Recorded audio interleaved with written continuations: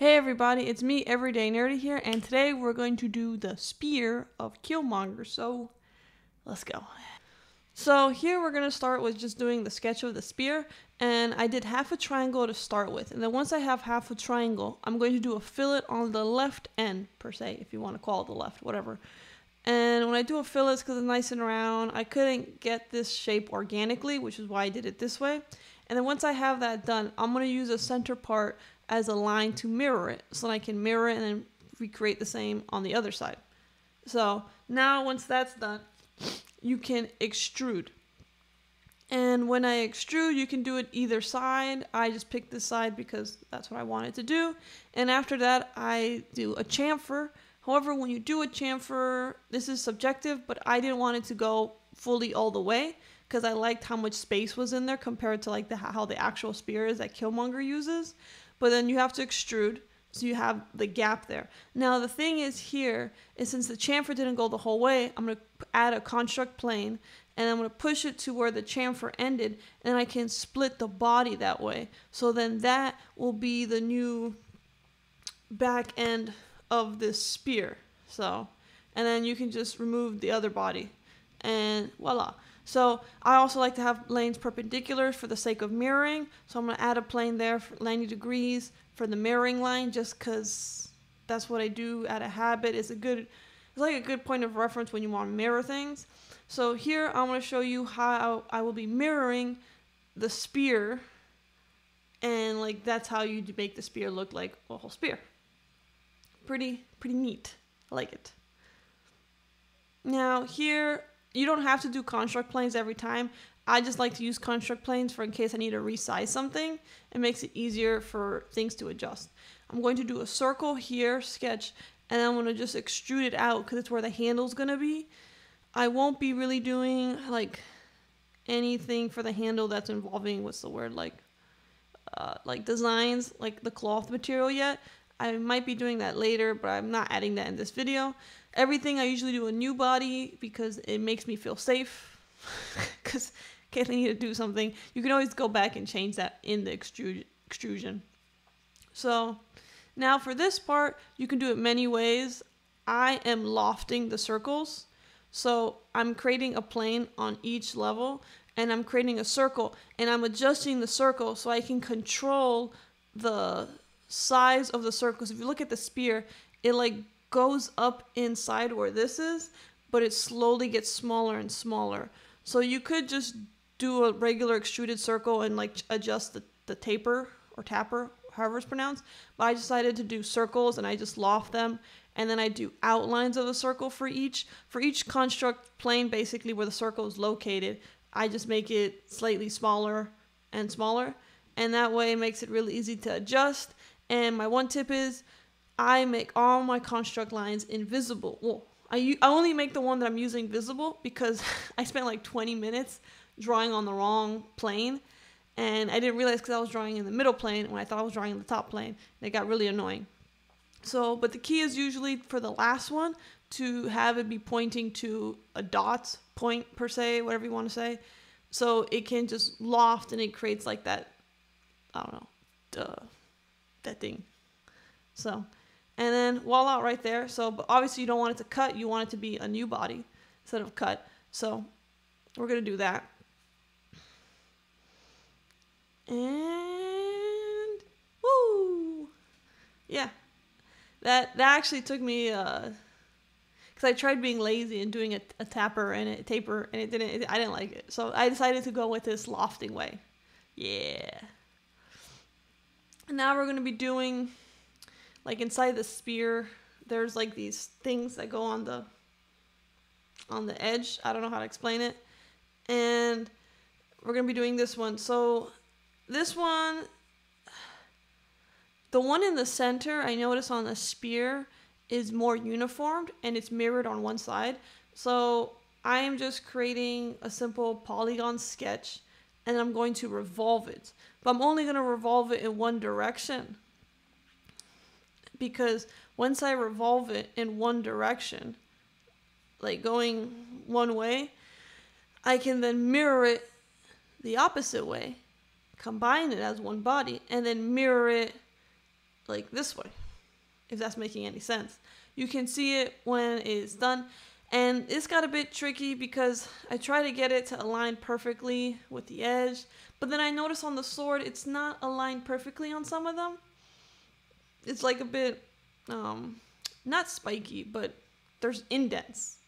The other ones you'll see later on that I have to make had to be more smooth because if you look at how the spear looks, so he has the middle part in the middle of where the spear is.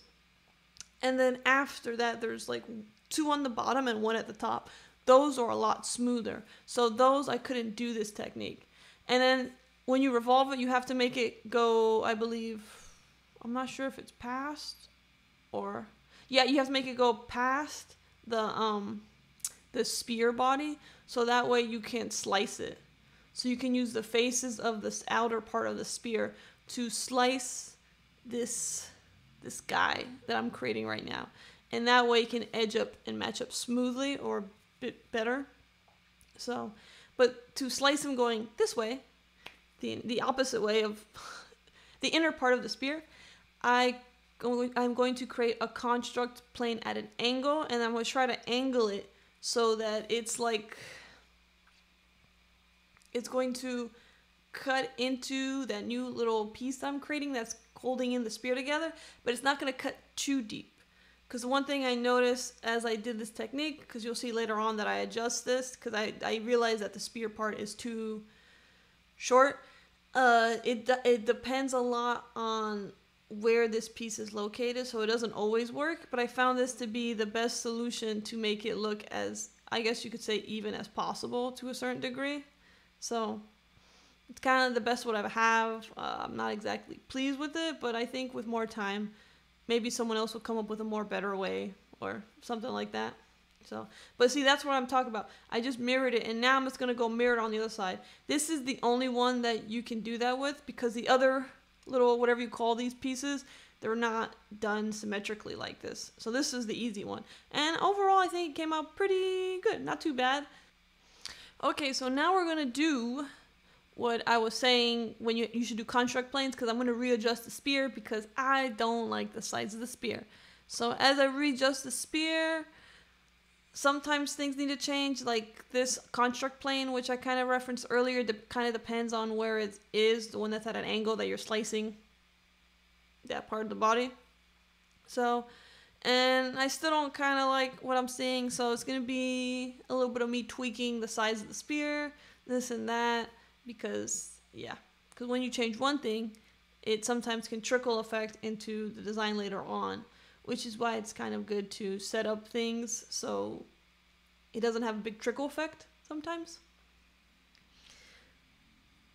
But now we're going to do the the other two pieces of the spear that are on the bottom that are on, they're on the bottom of the spear. They're similar to what we just did, except this one they're thinner and I believe they also look slightly different in the finish of how they touch the spear. But it was kind of hard because everything was a bit different. And like I said before, as you can see, I am not satisfied because I'm adjusting the spear again, which like I said, this is really is what good. So as I do these extra things I'm doing onto the spear, I can see that the spear is not large enough, so I'm going to adjust it.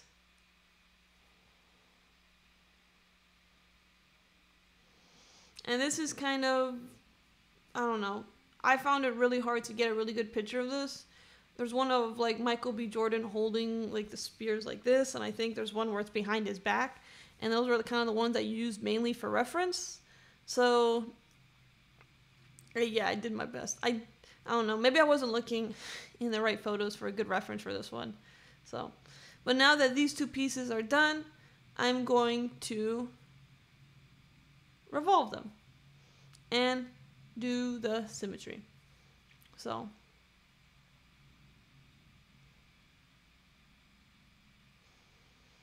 And like I said earlier, when you do one adjustment, everything will trickle sometimes.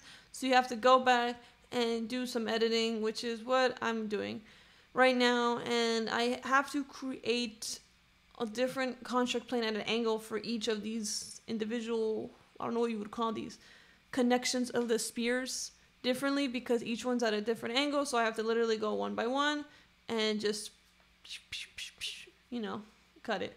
So, yeah. And like I said before, when you change one thing in the beginning, it can do a trickle effect.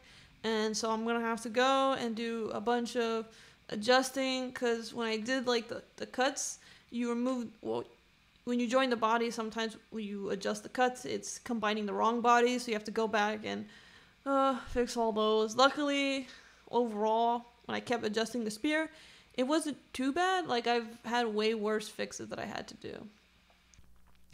Hey, so excuse my tango dancing with these construct planes, but in a nutshell, now we're gonna be doing the you got like these thingies, and you got the ones on the side that I was talking about that have more of a separate, smoother approach. And what I mean by this hand is so it'll be it comes out from here from the center of the spear, then it'll touch the outer spear, and it's like it's angled basically.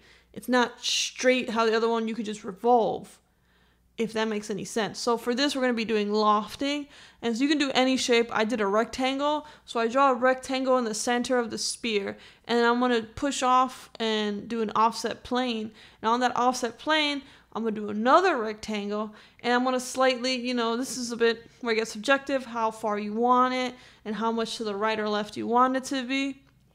I make sure I have it far enough that it is, what is the word?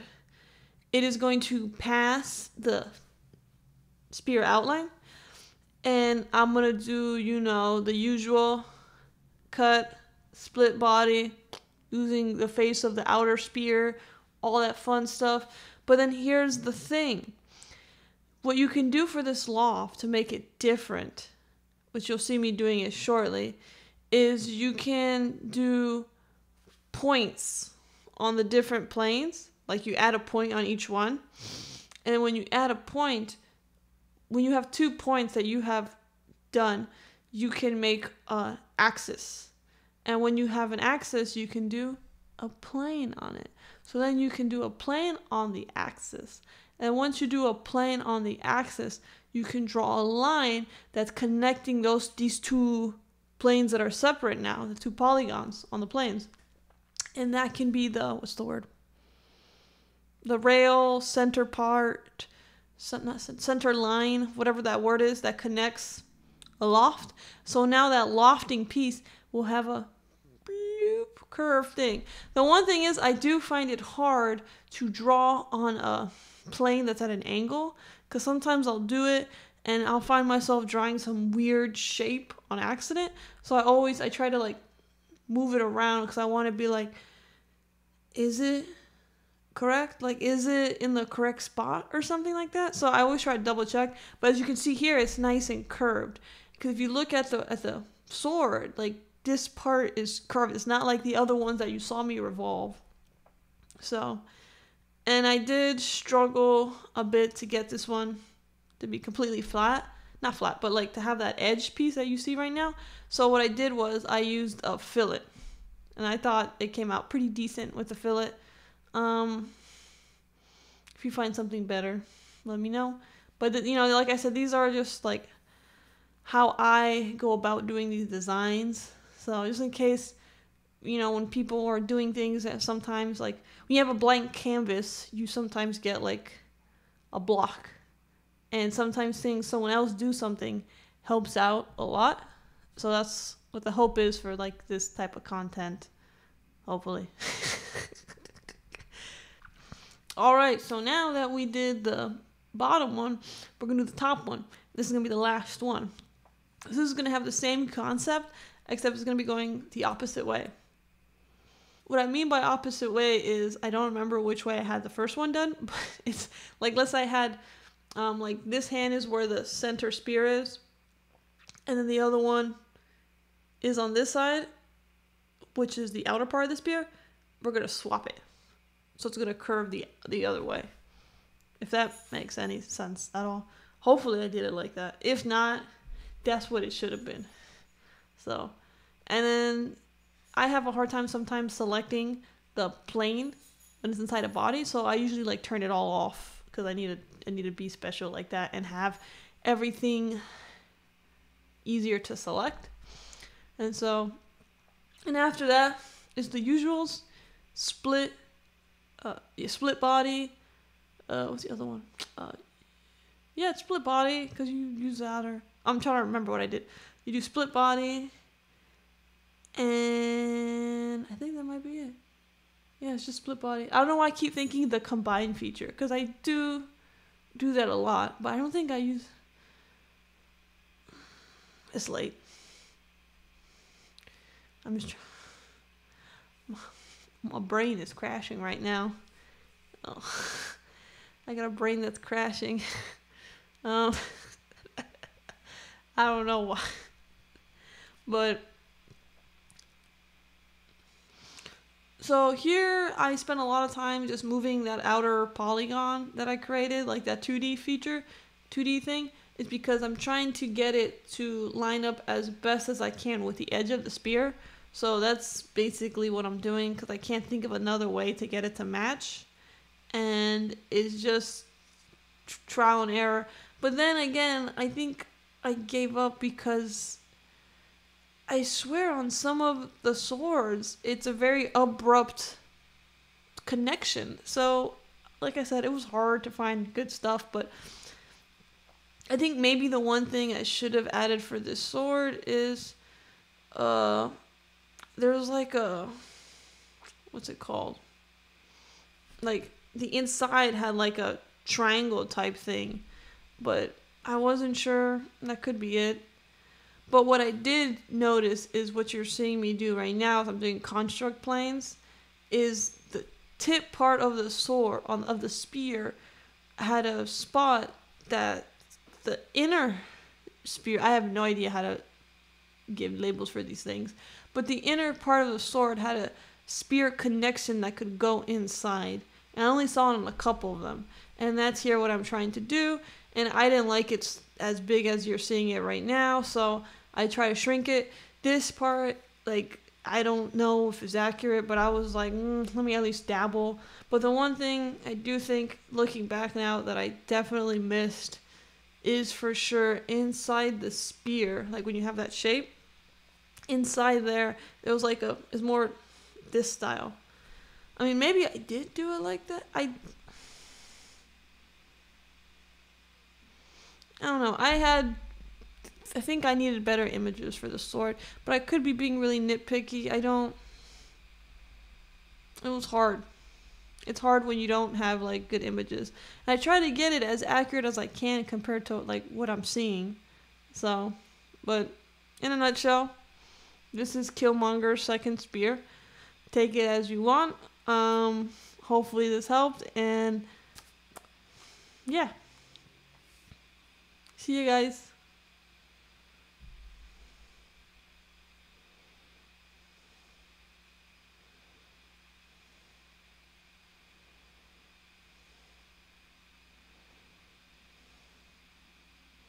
The rest of this video is just going to be me re basically just readjusting the, the sword spear.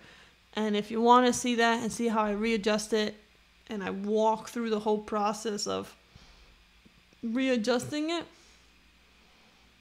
enjoy. I think I'm just to do a quick time lapse of it. There's not really much to say, it's just me readjusting it and it being annoying when you go back and you readjust the sketch and you're like, oh no, I gotta figure fix all this. Um, the biggest problem is, like I think I said it before, is when you readjust something and you cut something later on and you have to remove a body or you combine a body, sometimes things, the bodies, they change what body is what. So, like, what's body one, and you adjust the sketch, and the way it gets cut is differently. Body one could be now what body two is, or vice versa. So, you have to go back and redo certain things. So, but that's it. Bye.